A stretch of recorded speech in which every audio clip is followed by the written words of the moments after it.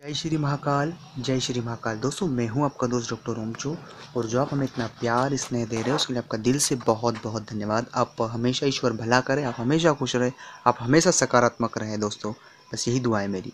यदि आप नए व्यूवर्स हो, हमारा चैनल पहली बार देख रहे हैं तो प्लीज़ इसे सब्सक्राइब ज़रूर कर लें। नीचे सब्सक्राइब बटन है, लाल उसे दबाएँ और उसे सब्सक्राइब कर लीजिए, ताकि दोस्तों, हम आपको मोटिवेशनल वीडियो और मोटिवेशनल वीडियो के साथ साथ बहुत अच्छे अच्छे वीडियो हमारे चैनल पर आपको सकारात्मक ज्योतिष हम आपको उपलब्ध करवाते हैं और बिल्कुल अच्छे अच्छे वीडियो मिलते हैं तो प्लीज़ इसे सब्सक्राइब कर लीजिए। साथ ही साथ हमारा ब्लॉग लिंक मैंने डिस्क्रिप्शन में दे रखी है ब्लॉग पढ़े। ब्लॉग मैंने अभी भी लिखा है। बहुत अच्छे अच्छे ब्लॉग हम लिखते रहेंगे। अभी नई शुरुआत करी है दो तीन ब्लॉग ही लिखा है। तो प्लीज़ ब्लॉग भी पढ़े तो आपको वहाँ से भी बहुत अच्छी अच्छी जानकारियाँ मिलती रहेगी।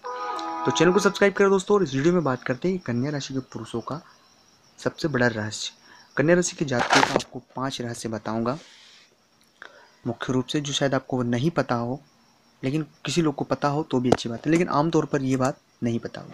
सबसे पहली बात होती कन्या राशि के जातकों के लिए कि कन्या राशि के जातकों जातकों को धन का अभाव एकदम से होता है। एकदम से मेरा मतलब है कि कल तक सब ठीक था, लेकिन एकदम से सडनली धन का अभाव हो जाता है। धन का अभाव कुछ भी बड़ा काम आ जाता है, कुछ भी हो जाता है तो वो घबरा जाते हैं। घबरा, कोई भी ये तो एक आम भावना है कि आप कोई भी घबराए। लेकिन आमतौर पर कन्या राशि के जातकों के साथ ये चीज़ देखी गई है और होती भी है और शायद आपके साथ भी हुआ है कि आपके पास पैसे हैं, लेकिन पैसे भी हैं सब है, लेकिन उस समय देने के लिए नहीं है या सडनली कुछ भी हुआ, आप दे नहीं पाए, जो भी कंडीशन लेकिन ये आमतौर पर कन्या राशि के जातकों दूसरी बात, कन्या राशि के जातक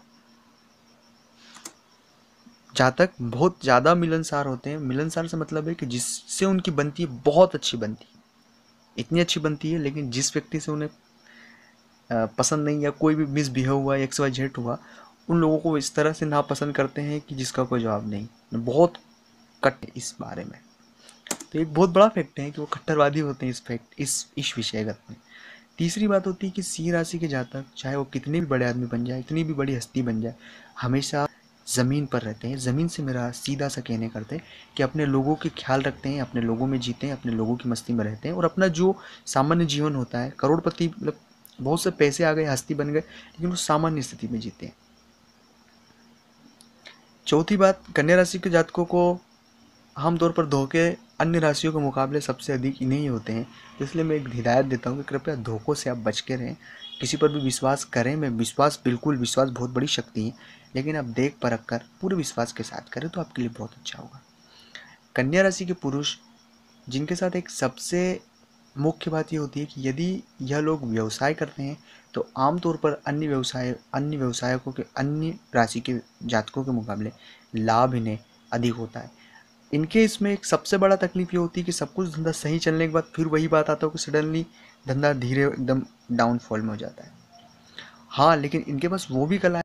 मंदी काल में किस प्रकार से बिज़नेस को ग्रोथ करना बिज़नेस को किस तरह मेंटेन करना, कोई इनसे सीखे। बहुत ही अच्छा तरीका होता है। बड़े मेहनती होते हैं, कड़ी मेहनत से किसी बिज़नेस को बिल्कुल पिक तक ले जाते हैं, लेकिन यह किसी भी चीज़ से इनका मन बहुत जल्दी उठ जाता है।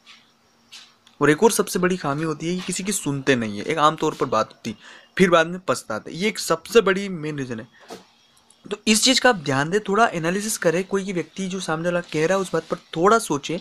मैं ये नहीं बोल रहा हूँ कि आप अधिक सोचें, लेकिन थोड़ा सोचें और फिर कदम आगे बढ़ाएँ। क्योंकि मैं आपका हित चाहता हूँ। आप पर ईश्वर की हमेशा कृपा रहें। आप हमेशा खुश रहें।